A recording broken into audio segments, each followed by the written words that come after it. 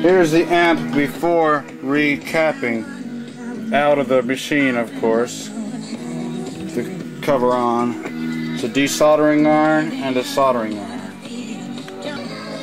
Here's the top cover off and the original capacitors inside.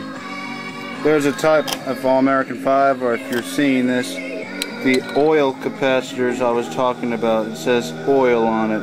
O-I-L.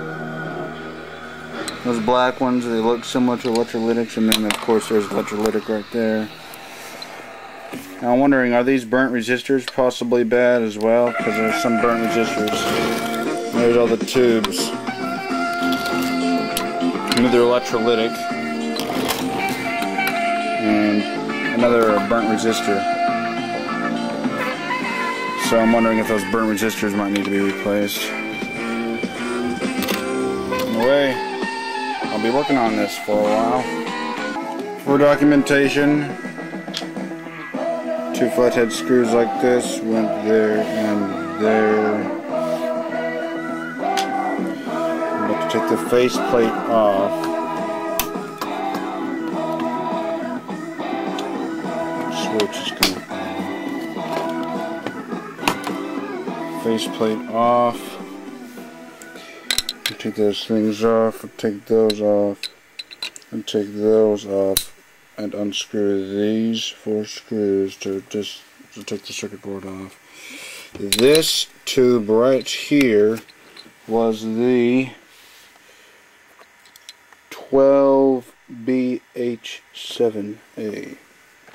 And be very careful when putting the 6X4 on or taking it off because of this. It tends to be in the way. Just in case, I'll have a view of this side as well. And of the back side. Also, I'm wondering, what does play comp mean? For more documenting, on these connectors, the clear washer goes on first. Then the orange. Then the nut on top. And on top of the nut goes a black ring. The top jack has two white wires on it. I will mark I will put a mark on the top jack and a mark for the top place. On this part, the 103 capacitor goes from that part of the coil to that part of the switch. The 203 capacitor goes from that part of the coil to that part of the switch. These screws that have washers on them are the ones that go on here to hold this on this side, that side, and on the bottom. Now, one important thing here is um, this part right here, which is the playhead output, or actually no, it's the input. Um, this resistor, this resistor goes right on that lead. On that lead also goes to this black wire and this other black wire here. The yellow wire goes to the bottom part. Those two top parts are connected together to the part that goes to the resistor and the two black wires. Also be sure not to lose the small little spacers, that little brown circle thing down there. On the other side of the mic and line input jacks is another orange washer that goes on that side.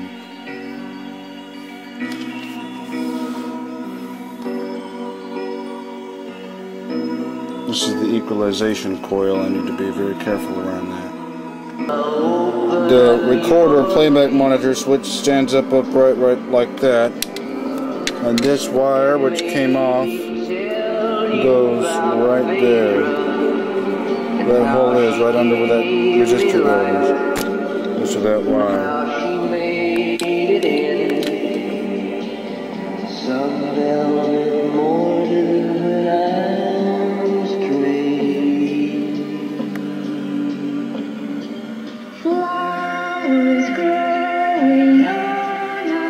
Some of it done. That part is held on with the blue coated washer and nut. Has a blue glue on there. Ready to put a 47 microfarad in, in place of an old 30 microfarad. By the way, look at the progress. I've got most of them replaced except for that one and that one on this board. After I then do the ones on the other side and that and stuff, I'll have to then do the whole thing on a whole nother amp. Here's a shot of this part. You see the colors of wires. We go to that capacitor. And for the capacitor below it, you see the color of wires that go to it.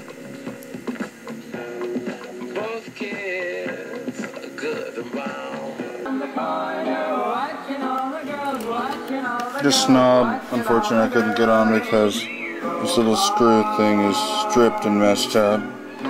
But I got the recapping on the first amplifier done. It took forever to do, and I'm still not ready. I mean, you know, I still haven't started on the next amp. Look at all those nice new capacitors in there. Beautiful.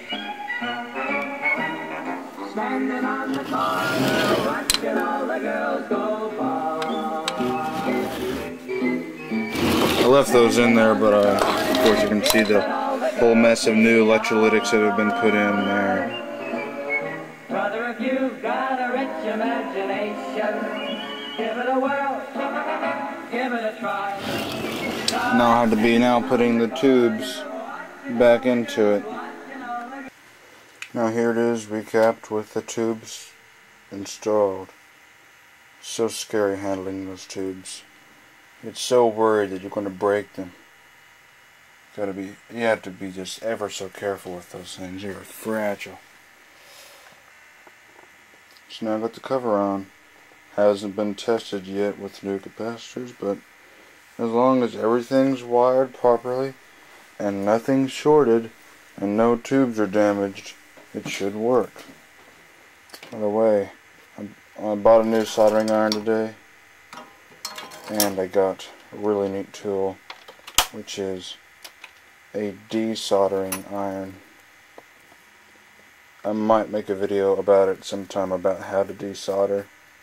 I think it's a very, very useful tool and it was very well worth the money to get it. I mean, it was very good. I highly recommend getting a desoldering iron. You can find them at Radio Shack costs about ten or eleven dollars, but it's definitely worth it if you if you're into replacing components on circuit boards or whatever. Replacing components that are soldered in, I recommend that tool. Okay, this is the other amp. I have finished recapping the other amp, but we have one casualty. The poor rectifier tube's filament has gone open, so I'm going to search for another one.